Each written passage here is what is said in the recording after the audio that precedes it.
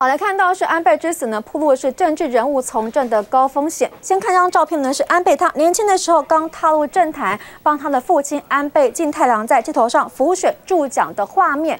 所以呢，堪称他从年轻到他临死前都是在街头助讲。而这也是日本政坛一个非常重要的选举文化，是要展现他们的亲民的这个吸吸引力，以及呢，就是因为日本的对于政治的广告有很严格的规范。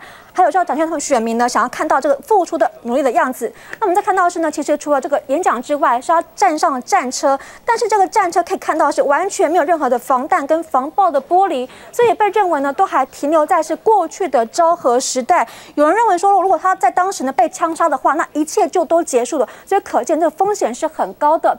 那我们看到是有人认为说，其实这样的安全的措施跟的交流之下，其实很难去取得一个完美的平衡。但是现在呢，就是安倍他被枪击。之后呢，这样的选举形式是根深蒂固的，应该不根本性的转变。但是要想的是，会不会需要更多的防护措施，这之后要重新思考部分。请支持 TVBS 国际 Plus 全新频道，让您扩大视野，掌握趋势，接轨全世界。恳请订阅，开启小铃铛。